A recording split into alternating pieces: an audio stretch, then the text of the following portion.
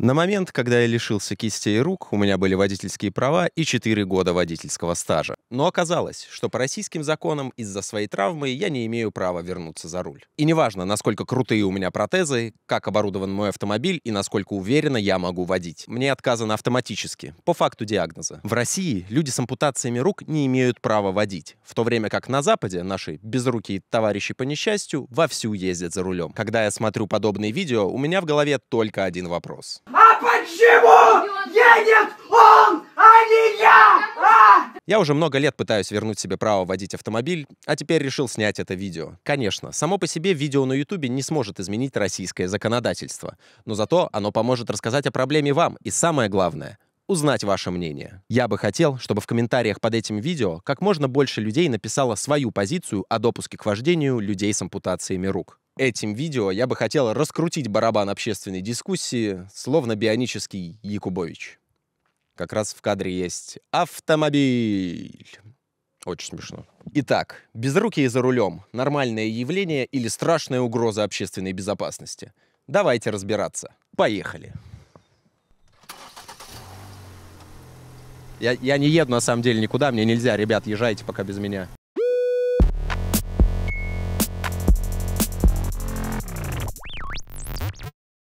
Мировая практика показывает, что люди с ампутациями рук отлично водят, если дать им такую возможность. В США, Канаде, Великобритании такие водители есть, причем у многих из них нет не только рук, но и ног. Вот пример девушки с ампутацией рук и ног, которая переоборудовала свой автомобиль и может нормально водить.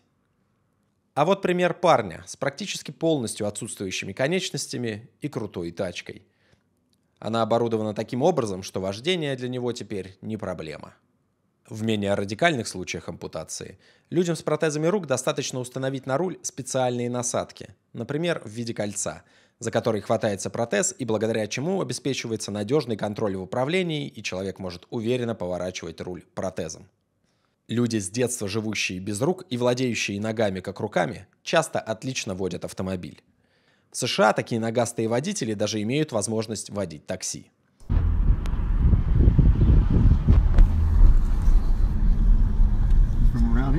Nah, I'm from Philadelphia. Самостоятельность. Вот к чему стремятся многие люди с инвалидностью. Водить автомобиль, жить независимо, зарабатывать деньги. И если водительские права есть пока далеко не у всех, то возможность освоить востребованную профессию есть сегодня у каждого. Людей с инвалидностью в IT-сфере больше с каждым годом. Вот примеры успешных программистов с инвалидностью, и это только те, кого я знаю лично. Но расслабьтесь, для того, чтобы стать востребованным айтишником, не обязательно иметь инвалидность. Нужно решить, с чего начать и выбрать направление входа в IT. Для этого хорошо подходит язык программирования Python, относительно простой и универсальный. Узнать больше можно на бесплатном курсе «Основы Python. Создаем телеграм-бота» от Металлогии. Металлогия уже 12 лет помогает найти и освоить профессию по душе. Методисты и эксперты Металлогии создают актуальные учебные программы, а кураторы помогают с резюме, портфолио и трудоустройством. Начать можно с бесплатных материалов, чтобы понять, что вам подходит и стоит ли продолжать. Python много лет входит в топы рейтингов языков программирования. На нем делают сайты, игры, приложения, работают с данными и создают искусственный интеллект. На бесплатном двухнедельном курсе от нетологии вы познакомитесь с Python и основами программирования, получите представление о сфере в целом и создадите два своих первых проекта, даже если никогда до этого не кодили. А еще пройдете стажировку на симуляторе. Переходите по ссылке в описании или QR-коду и регистрируйтесь на бесплатный курс от нетологии «Основы Python. Создаем Telegram-бота». А по промокоду BIONIC получите скидку 45% на платные онлайн-курсы нетологии. При желании и грамотном переоборудовании авто люди с подобной ампутацией могут стать профессиональными гонщиками, как, например, поляк Бартош Остоловский. Он поставил мировой рекорд по скоростному дрифту на 50-метровой прямой, и гонщики с руками пока не могут превзойти его результат. Еще один необычный случай. Американка Джессика Кокс несколько лет назад стала первым в мире безруким пилотом легкомоторного самолета, получив соответствующую лицензию. Вот что бывает, если государство не отказывает поголовно всем инвалидам из-за их диагноза, а подходит к каждому конкретному случаю индивидуально. Как, например, подошли к случаю американца Джейсона Когера, который так же, как и я, потерял руки, когда уже имел водительское удостоверение, но его у него никто не забирал. Ко мне для экзамена приехала женщина из столицы штата Мы просто поехали по дороге. Я показал ей, что могу включать поворотники, могу включать дворники, что могу парковаться, что могу трогаться, могу поворачивать налево, направо. И как только я это сделал, я сдал экзамен, и у меня не было никаких ограничений. Если на вашем автомобиле установлено какое-либо адаптивное оборудование, и вы пользуетесь им для сдачи экзамена по вождению, это будет указано на ваших правах. Так что если у вас есть дополнительная педаль, или кольцо на руле, или что-то еще, и вы сдадите экзамен с этим устройством, то в ваших правах будет указано, что все автомобили, которые вы водите, должны быть соответствующе оборудованы. Поэтому я для себя не ставил никаких устройств на экзамен, потому что я не хотел никаких ограничений в правах. Ведь я не хочу прилететь во Флориду или куда-то еще, а мне там скажут, что я не могу арендовать машину, потому что на ней нет определенного устройства. Поэтому я сдал экзамен по вождению только при помощи протезов крюков. У меня есть два крюка, еще у меня есть бионические протезы. Поэтому я сдал экзамен при помощи протезов, и теперь я могу снова водить машину без каких-либо адаптивных устройств. Говоря об ограничениях, люди без рук, они должны водить автомобиль только с автоматической коробкой передач или нет? С любой, это не имеет значения, у меня в правах нет никаких ограничений, должен ли я водить автомобиль с автоматической или ручной коробкой. Наверняка многие в комментариях напишут, да как же это так, без руки, за рулем? Да вы совсем обалдели! Это же опасно! Спешу вас огорчить. Не существует статистики, доказывающей, что такие водители действительно опаснее других на дорогах и что они чаще других попадают в аварии. Скорее наоборот. Лично у меня есть ощущение, что люди с инвалидностью водят куда более аккуратно и ответственно. Для многих людей с инвалидностью водительские права – это редкая возможность быть самостоятельным и мобильным, поэтому они этой возможностью дорожат. С момента ампутации я вожу 16 лет, и у меня не было ни одной аварии. Вообще ни одной? Нет, за 16 лет. У меня ни одной аварии, но у меня были штрафы за превышение скорости, но никогда не было предупреждений за неосторожную езду, опасные перестроения и так далее. Ни разу за 16 лет. Не было никаких проблем с моими правами и с тем, как я вожу. А что в России? У нас тоже живет много людей с ампутациями и поражениями рук, которые способны безопасно водить, но они даже не имеют права доказать этого на экзамене, потому что их не допускает медкомиссия.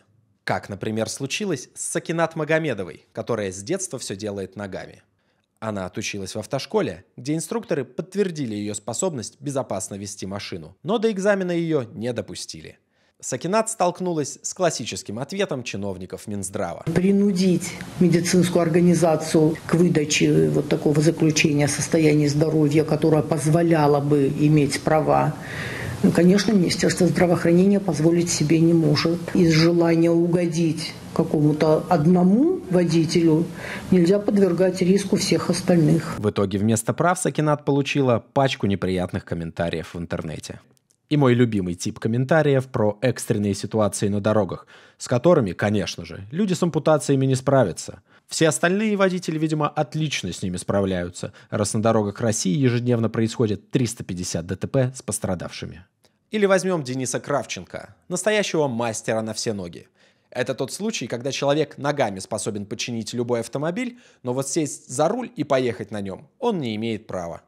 В России таких людей, как Денис и Сакинат, много. Они умеют водить, но не могут быть допущены до экзамена по вождению из-за постановления правительства номер 1604. По этому документу отсутствие обеих рук или кистей, либо их серьезная деформация, является противопоказанием к вождению.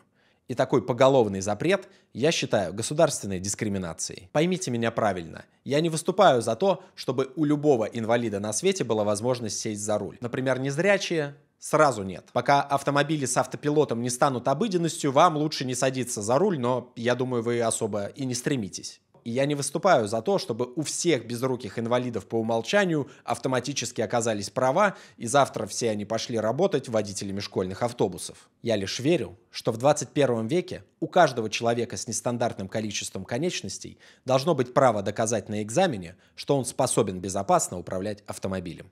Я давно принимаю попытки изменить эту запретительную меру, и даже пару лет назад побывал на круглом столе в Совете Федерации. Там мои аргументы выслушали государственные мужи в пиджаках, но ничего так и не изменилось. Кроме того, что в «Коммерсанте» вышла статья с заголовком-каламбуром, в которой меня называют «господином».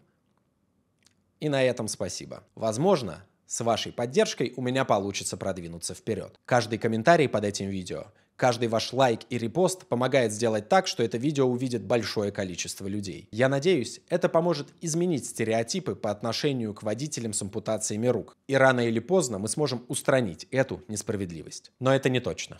В любом случае, пишите комментарии, и будет интересно узнать вашу позицию. На этом все. У меня есть телеграм-канал, где всякие ампутации, протезы, приколы – Подписывайтесь на него, если любите такое. Далее будут титры с именами самых лучших людей на свете, моих спонсоров на Бусти. Вы тоже можете пополнить их нестройные ряды. Берегите ваши ручки. Чао!